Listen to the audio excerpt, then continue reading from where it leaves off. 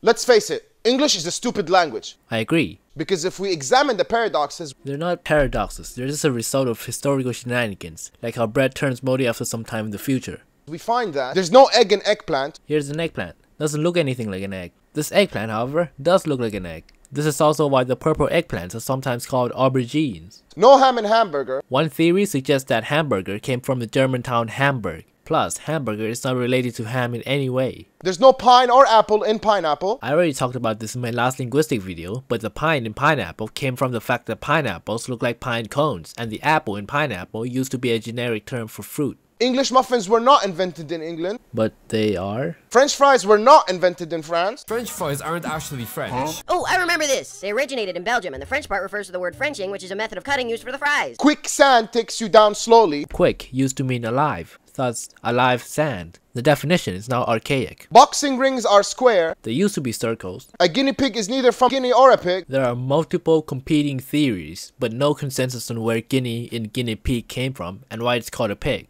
I'll give a point to him. If writers write, how come fingers don't think? The word finger was never a verb to begin with. If the teachers taught, why didn't the preacher prot? The words teach and taught are different because of historical shenanigans, I guess. They just drifted apart. If the plural of tooth is teeth, why isn't the plural of phone booth phone beef? In Old English, every noun with the vowel oo changes into e in the plural form. This is why you get words like goose and geese, and foot and feet. In Middle English, the plural form changed to just adding s at the end. The word booth was added into Middle English from Old Norse, and so booth received the plural treatment from Middle English instead of Old English. If a vegetarian eats vegetables, what the hell does a humanitarian eat? The suffix arian just means someone who advocates or believes in something. A vegetarian advocate to only eat non-animal products. A humanitarian advocates to make humans suffer less. Why do we recite at a play, but play at a recital? I'm not sure why, so I'll give him another point. Park on driveways and drive on parkways. I explained this already too, but a driveway would be a path you would drive to park your car, and you would drive through a park. A park and to park are not the same words. A house is burning up as it burns down. The word up here is used as an intensifier instead of a direction, like how I would tell you to shut up. And you fill out a form by filling it in. The phrase fill out may have been loaned as a calque from German and just means to fill in. Additionally, people in Britain use fill in instead of fill out. what